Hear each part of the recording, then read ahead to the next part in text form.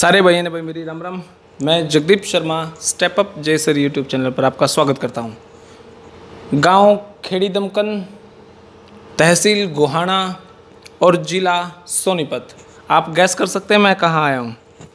मैं आज आया हूँ स्वामी जसमेर जी महाराज के पास और जो कि एक महामंडलेश्वर की उपाधि उनके पास है। और सबसे आश्चर्यजनक बात मेरे को एक लगी, पहले तो मैं उनसे पूछूँगा कि कबीरदास जी और स्वामी विवेकानंद जी की उनके पास उनके साथ एक फ़ोटो है उनका कम्बिनेशन फिर मैं राजनीतिक प्रश्न उनसे पूछूँगा। नमस्कार जी। प्रणाम प्रणाम। जी, कैसे हैं ठीक सर? ठीक है बहुत अच्छे। अ, सर ये क, ये कम्बिनेशन क्या बनाया है सर आपने? हमारे कबीर जी भी और स्वामी विवेकानंद जी भी साथ में ये कम्बिनेशन अगर सभी लोग बना लें हाँ जी। तो हमारी सामाजिक और आध्यात्मिक जो दो बहुत बड़ी सत्ता हैं हाँ जी हाँ जी। दोनों सबकी सुधर जाएँ और हमारा सारा सब ठीक हो जाए।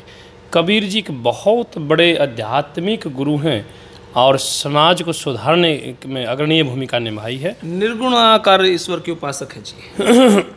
और उसी प्रकार से हाँ जी। ये जो आपका जो प्रश्न है हाँ जी हाँ जी। निर्गुण उपासक और सगुण उपासक दोनों की बातें हाँ। आती जी हाँ। हैं जी हाँ जी। ये बहुत गहरे आध्यात्मिक विषय हैं।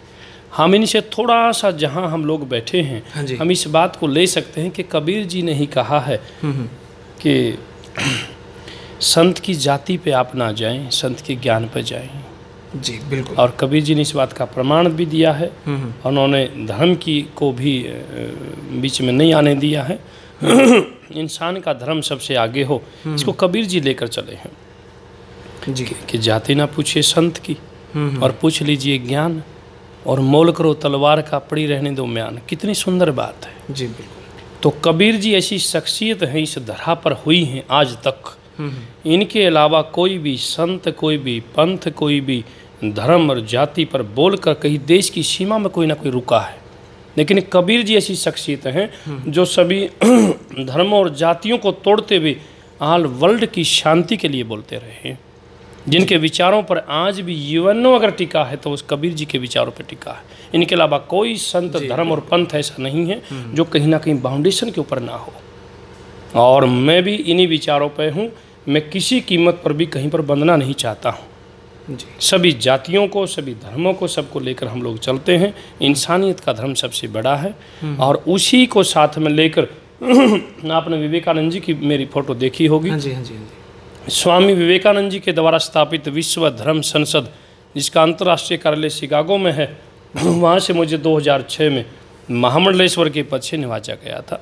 ये महामंडलेश्वर क्या उपाधि होती है? हमारे धार्मिक जो कार्य हैं उसके अंदर सभी बातों को पूर्ण करने के लिए जो सक्षम हो जाता है कहीं पर भी कोई ना कोई जाति के नाम पर रुकता है ना धर्म के नाम पर रुकता है ना ऊंच नीच के नाम पर रुकता है ना कोई छोटे बड़े और किसी पद के नाम पर कोई रुकता है उसको ये पद दिया जाता है कि आप सही में सही सही मंडलों के पूरे मंडल के ऊपर आप जो है पूरा काम करेंगे तो आपको महामंडलेश्वर हम कह रहे हैं। आप किसी मंडल में बंधते नहीं जैसे कहते ना कि ये इतना मंडल है भूमंडल है तो पूरे भूमंडल की बात आ जाती है। अध्यात्म स्तर पर हम बात करें आप आध्यात्मिकता अध्यात्म स्तर पर आप इतना आगे जा चुके हैं। अध्यात्म का और राजनीति का संबंध समझ में नहीं आया अध्यात्म और राजनीति का संबंध समझ में आ जाना चाहिए। और इस बात को समझ में आया था तभी तो सतयुग था। ये राजनीति और धर्म का संबंध था तभी तो त्रेता युग था। राजनीति और धर्म का संबंध आधा समझ में आ रहा था तभी तो द्वापर युग था। अब बिल्कुल भी समझ में नहीं आ रहा इसीलिए कलयुग हो रहा है। और हम लोगों को यही समझ में समझ में दिलाना है और सही में हमारे यहीं पर माता सीता के पिता राजा जनक थे। जी। उनका नाम जब लिया जाता है वो तो राजा थे। तो उनका धर्म और राजनीति का इतना गहरा तालमेल था कि उनके नाम के आगे जनक विधेयी तक लगा दिया गया। यानी कि इस देह को भी वो अपना नहीं मानते थे। वो राजा थे पूरी तरह से। इस धरा पर आज तक केवल एक मुनि सुखदेव मुनि जो गर्भ योगेश्वर हुए हैं। जी। और उनके गुरु कौन थे? वो सभी संत महात्माओं के पास गए आए खूब चक्कर लगाए। वेद व्यास जी ने कहा कि कोई गुरु नहीं मिला। उसने कहा कि मेरी बराबर का कोई गुरु है ही नहीं मैं किसको गुरु बनाऊँ? तब उन्होंने कहा कि धर्म और राजनीति का मेल बनाने वाला एक शख्स इस दुनिया में है और सबसे बड़ा गुरु वो है। जी। राजा जनक उसका नाम है। उसने कहा कमाल की बात है। वो राजा भी है सुख भोगता है परिवार है मैं उसको गुरु बनाऊँगा। तो वेद व्यास जो हमारे वेदों के रचयिता उन्होंने कहा कि तू एक बार जाकर तो देख। उसका सबसे बड़ा गुण है वो धर्म और राजनीति का मेल बना के चलता है। तो एक बार जाकर तो देख। और वो उसका गुरु बना था। ये विश्व विश्व की ऐतिहासिक घटना है। प्रमाणिक तौर पर बता रहा हूँ। और जिस दिन धर्म और राजनीति का मेल हो जाएगा सच्चा मेल हो जाएगा और समझ में आ जाएगा तभी तो सब ठीक होगा। आप मीडिया वाले लोग भी तो बाद में यही कहते हैं जब कोई घटना घटती है कि आपका धर्म कहाँ चला गया था आपका ईमान कहाँ चला गया था आपका इंसानियत कहाँ मर गई थी ये सब चीज़ें तो हमारे धर्म के अंदर हैं। केवल राजनीति के अंदर नहीं है। हम्म हम्म। तो राजनीति के अंदर धार्मिक लोग हों कितनी सुंदर बात। सच्चे लोग हों ईमानदार लोग हों प्रेमी लोग हों आत्मिक लोग हों ये कहाँ से निकलेंगे? ये तो धर्म के स्कूल से ही निकलेंगे। जी। इसलिए धर्म और राजनीति का मेल आप और हम को समझना होगा और वो समझ में जिस दिन आ जाएगा तो समाज के अंदर सब कुछ और ही कोई बात हो जाएगी। इसलिए मैं चाहता हूँ कि इस राजनीति के अंदर धार्मिक लोग हों आत्मिक लोग हों अच्छे लोग हों सच्चे लोग हों। और अभी मैं जिस पार्टी में हूँ बाद में आप कुछ पूछ भी सकते हैं हाँ हाँ यही बात आएगी। हाँ उस पार्टी को बनाने वाले उसकी नींव रखने वाले वो पार्टी चौधरी देवीलाल जी के विचारों पर निर्मित हुई है। जननायक जनता पार्टी और चौधरी देवीलाल जी एक संत रूप में हमारे बीच में थे। वो संत थे जो सबके लिए सोचता है सबके लिए जीवन लगाता है सबको अपना मानता है और की पीड़ा को अपनी पीड़ा समझता है वही तो संत होता है। और चौधरी देवीलाल जी हमारे बीच में एक संत रूप में थे तो वो वो एक एक, एक धार्मिक व्यक्ति कह सकते हैं उसको धर्मात्मा व्यक्ति कह सकते हैं उसको आत्मा वाला व्यक्ति कह सकते हैं महापुरुष कह सकते हैं तो वही तो धर्म हुआ। और राजनीति के बगैर कार्य नहीं हो सकते हैं।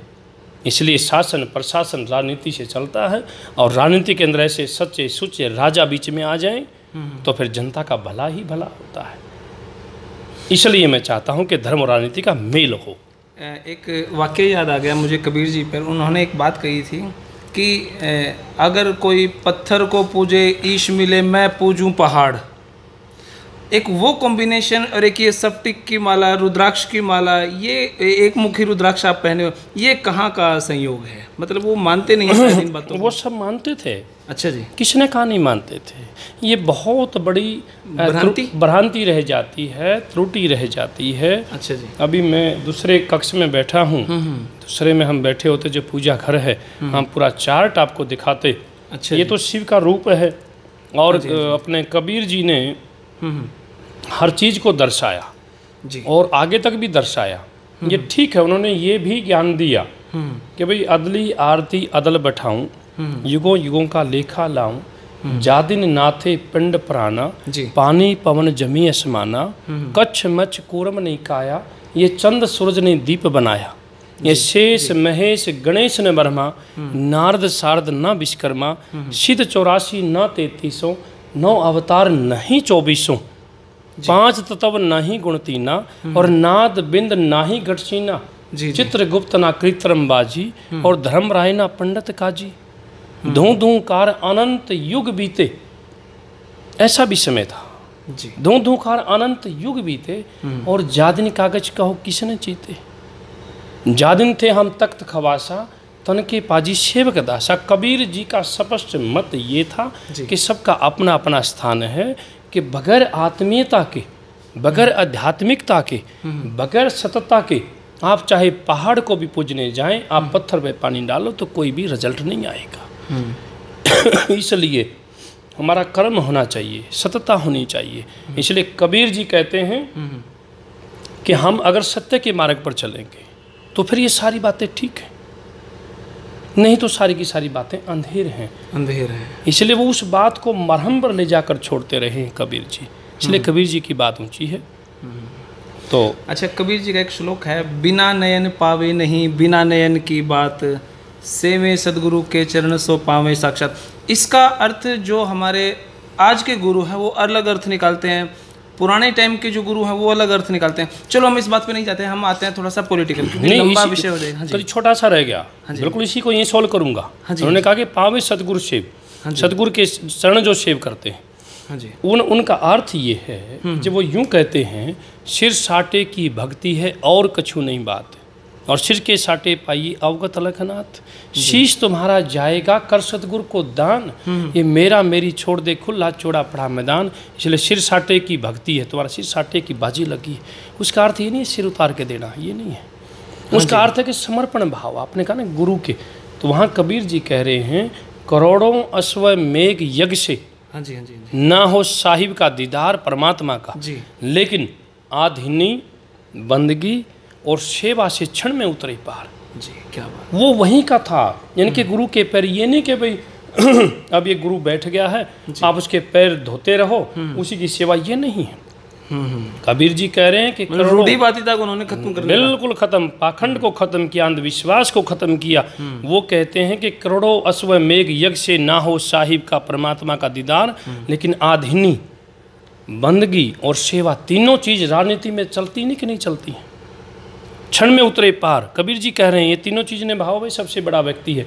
आधिनी करो आप प्रणाम करो आप सेवा करो। कल मोदी जी ने भी पाँव धोए हैं जो वहाँ के सेवादार थे। हाँ उसकी मैं बढ़ाई करता हूँ। बिल्कुल ठीक है अच्छी बात है। यही तो है कि समर्पण भाव कि शीश तुम्हारा जाएगा कर सतगुरु को दान। वही तो है। सिर साटे की भक्ति है और कछु नहीं बात है। वो सिर ये नहीं उतारना है। समर्पण हंड्रेड परसेंट डेडिकेशन देना है। बिल्कुल सीधी सी बात है। तो राजनीति में आपका आगमन कैसे हुआ? अब आगे क्या आपकी सोच है? राजनीति में लोग कहते हैं सेवा करेंगे वो करेंगे वो मतलब आप किस आधार पर राजनीति में आ रहे हैं आगे? मेरा जो प्रोफेशन है हाँ जी। वो राजनीति से भी पहले मेरा प्रोफेशन है सेवा करना। राजनीति शब्द में राज के लिए नीति है जनता कहाँ चली जाती है इसमें? मतलब किसकी सेवा? राजनीति का अगर हम अलग करें राजनीति राज्य के लिए नीति जनता कहाँ चली गई इसमें? नहीं जनता है ना हमारे साथ। हमारी पार्टी का नाम देखिए ना आप। मैं भी वहाँ पहुँचने वाला था। मैं वहाँ आने वाला था। अच्छा तो उससे पहले मेरा जन्म मैं जिस पार्टी के अंदर मैं जुड़ा हूँ हाँ जी हाँ जी। ये ये देखिए जहाँ मैं हूँ जी। हूँ तो आध्यात्मिक व्यक्ति। हाँ जी हाँ जी। लेकिन यहाँ ऊपर लिखा है हाँ जी। जननायक जनता पार्टी। जी। यानी कि जनता की पार्टी। बिल्कुल क्लियर सा लिखा जननायक यानी कि जनता का नायक और जनता पार्टी। और उसी में हमने अपील की है भाई जननायक जनता पार्टी के उम्मीदवार को आप जिताएँ हम लोकसभा अच्छा आप लोकसभा की तैयारी कर रहे हैं जी। ये ध्यान रखें हमारे महाराज जी लोकसभा की तैयारी कर रहे हैं जी। चलो मैं तैयारी तो मैं भी कर रहा हूँ लेकिन पार्टी जिसको भी लड़ाए हाँ जी। यानी कि पार्टी का जो भी उम्मीदवार हो बिल्कुल हाँ साफ़ और खुली बात है। हाँ जी हाँ पार्टी जिसको लड़ाए उसको उसको जिताए। तो दुष्यंत जी से आपकी बात हुई है लोकसभा को लेके? ये बातें होना ना होना अंदर खाते की बात। इस बात को मतलब ऐसे नहीं कुछ भी कहा जा सकता। नहीं कर रहे आप वो पार्टी की मर्ज़ी चलती है। मतलब आप नहीं चाहते कि अपने मुँह से कहें आप चाहते कि दुष्यंत जी इस बात को क्लियरिफाई हाँ दुष्यंत जी पार्टी यानी कि पार्टी कहेगी भाई स्वामी जी। लड़ रहे हैं। पार्टी जिसको भी लड़ाए ये बिल्कुल ओपन बात है। पार्टी की मर्यादा होती है और वो उसी पर रहेगी। बाकी मेरी तैयारी पूरी है।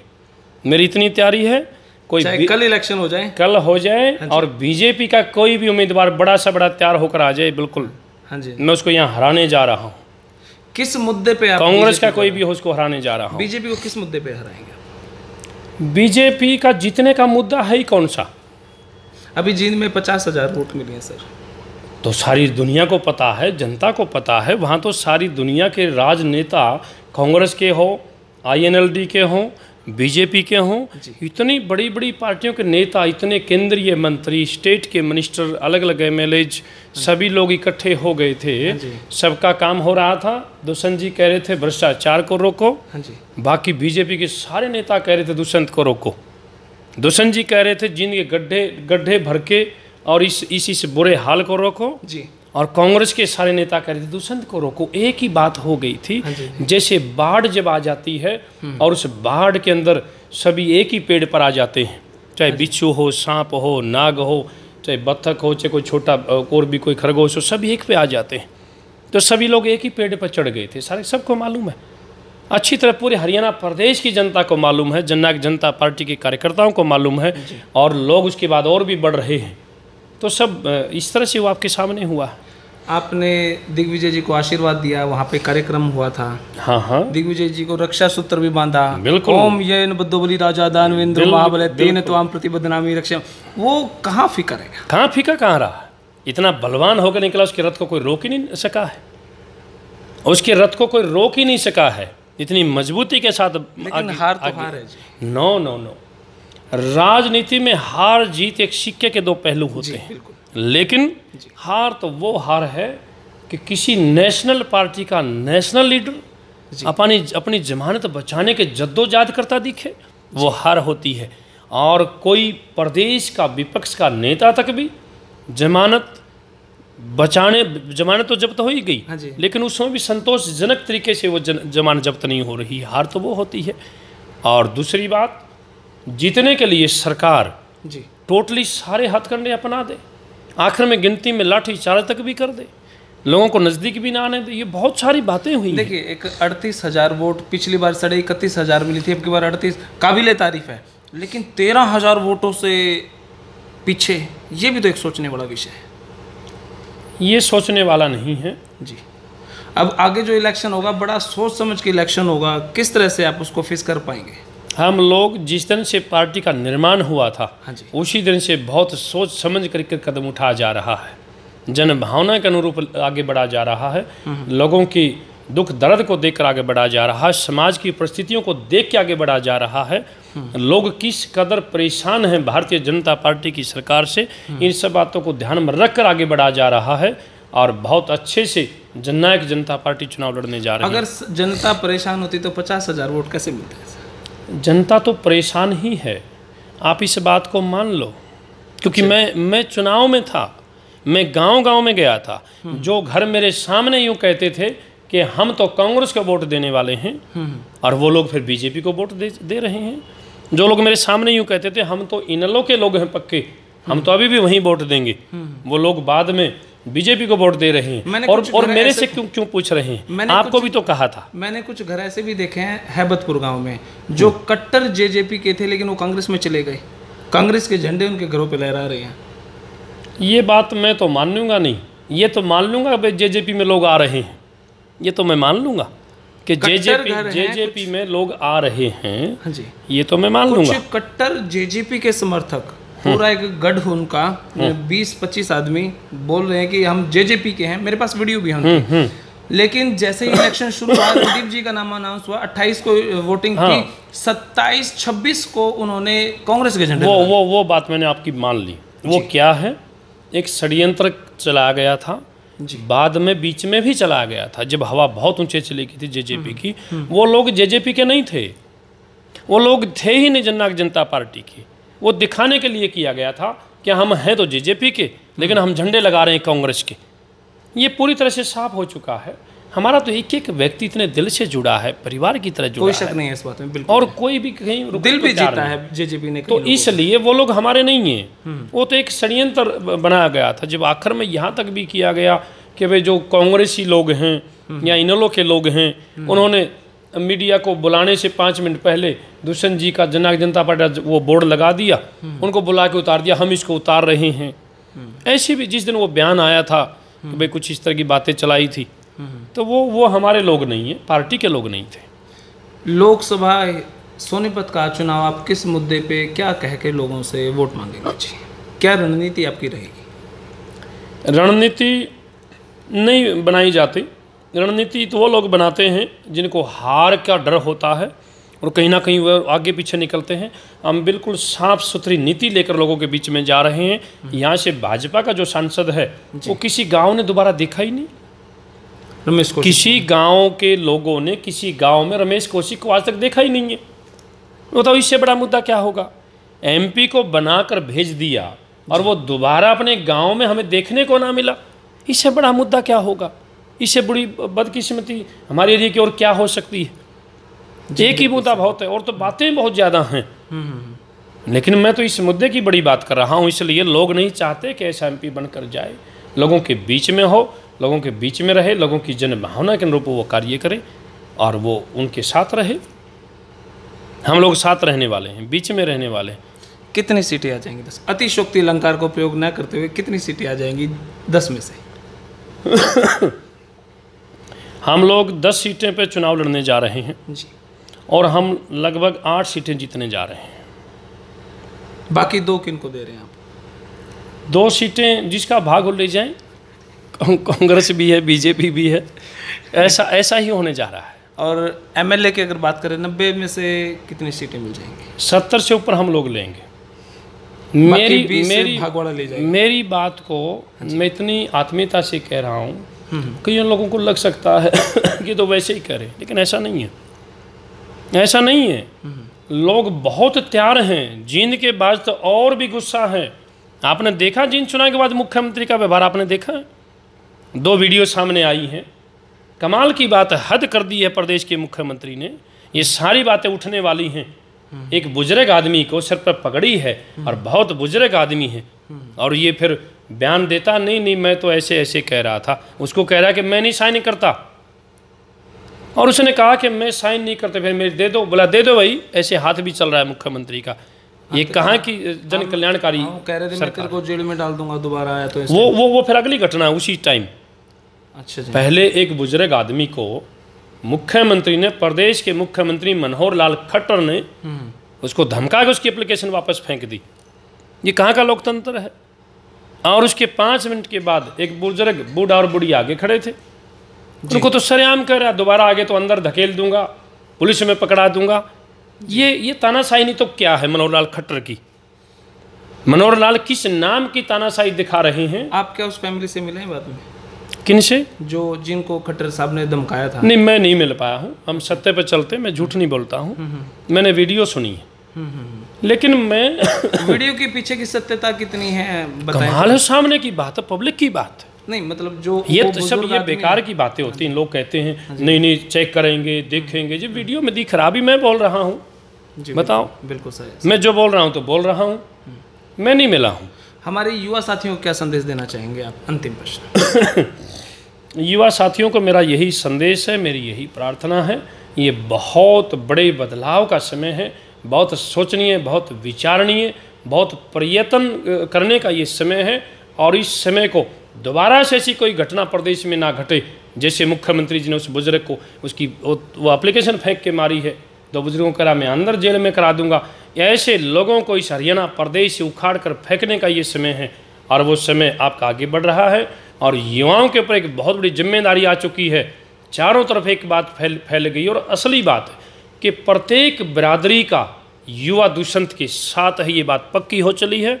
इसलिए युवाओं को अपनी ज़िम्मेदारी को समझते हुए, दुष्यंत जी को आगे बढ़ाते हुए लोकसभा के चुनाव में दस में से आठ सीटें जिताने का काम करना है और हमें इतना बड़ा बदलाव करना है। प्रदेश की बात तो मैं क्या करूँ? जब जब भी बदलाव आया है तो सभी देशों में क्रांति युवाओं के द्वारा आई है और युवाओं का जोश, प्यार, प्रेम, हौसला जननायक जनता पार्टी का बहुत बड़ा हथियार है। दुष्यंत चौटाला जी का बहुत बड़ा गले का हार है। वो लोग दिन रात मेहनत करते हैं और करने वाले हैं। युवाओं का भविष्य दुष्यंत चौटाला जी के साथ है और मैं सभी से चाहूँगा कि सभी नौजवान इस लड़ाई को जीतें और आगे बढ़ें। आप सबका बहुत बहुत धन्यवाद। धन्यवाद जी। तो ये हमारे स्वामी जसमेर जी का विवाक राय मतलब टेंशन नहीं, बड़े रिलैक्स स्वभाव से, बड़े आराम से उनका जो जवाब रहता है, बड़ा काबिल तारीफ़ है। इतने तीखे प्रश्नों का जवाब जो उन्होंने बड़े सरल हृदय से जो दिया है, बड़ा काबिल तारीफ़ है। अब आगे का क्या रहता है, वो आगे के सोचेंगे। तब तक हमें विदा दीजिए। धन्यवाद। जय हिंद। राम राम भाई।